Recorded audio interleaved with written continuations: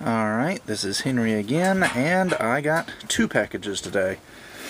Now, these were actually both ordered at the same time, but uh, the way this worked out is I paid for this one, and then this one was a birthday gift. My birthday was this past Wednesday, so that's why they ship separately. So, let's go ahead and open these up. Now, unfortunately, uh, this one didn't arrive in time for my birthday. I was really, really hoping it would, but it didn't. It actually arrived one business day late, so that's why I'm doing this unboxing video here. Because otherwise I would have gotten them one at a time and I probably wouldn't have bothered doing an I got a package today video for just one model kit each. But since I got two at the same time, I figured I would go ahead and open them up.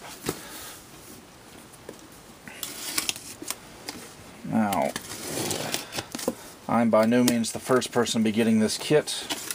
In fact, several people have already put up reviews of it. It's the Master Grade Gundam Sandrock EW. And, well shoot, it won't come out. HLJ's got this, like, form-fitting Master Grade sized mailing box. Let's see if I can split that open maybe pull it out this way. Right? Okay, there we go. Got it. Alright. So, Master Grade Sandrock. And I've been kind of slow ever since I finished my B Club resin heavy arms in Sandrock because I was looking forward to doing this as my next project, and I am. Just ended up getting it a few days later than I expected to. So anyway, you guys can probably look forward to seeing an unboxing video of this guy. Probably tomorrow, actually. Alright, now for this smaller box. Now, when this was first announced, I originally said that I wasn't going to get it.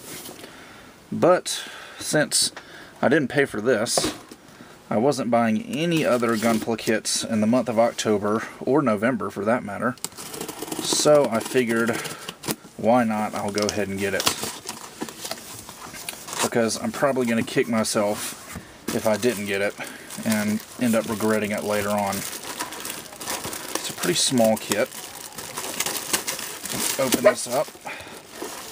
And there we go. The brand new B Club 1 to 100 scale Leo.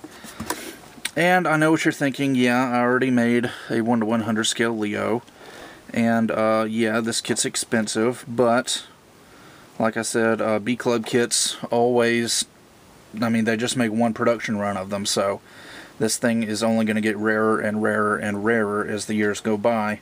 Plus, it's B Club, which I like, and it's Gundam Wing, which I like. So, uh, and like I said, I wasn't buying any other kits for October or November, so I felt the need to go ahead and pick it up. And I'm actually looking forward to it. I really don't know when I'm going to build this kit. Huh, packing peanuts. I don't think I've ever seen packing peanuts in a resin kit before. Not inside the box anyway.